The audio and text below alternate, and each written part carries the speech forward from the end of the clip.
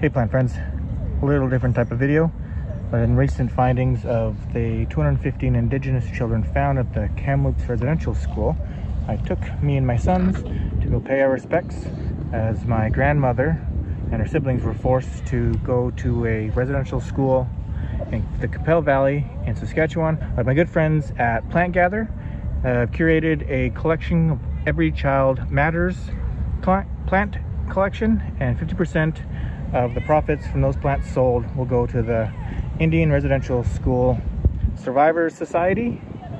And if you can support your local indigenous community or just buy a plant and support, uh, I highly suggest doing that. Uh, I'll leave the links down below or in my bio if you're on Instagram. And we'll talk to you soon. Bye.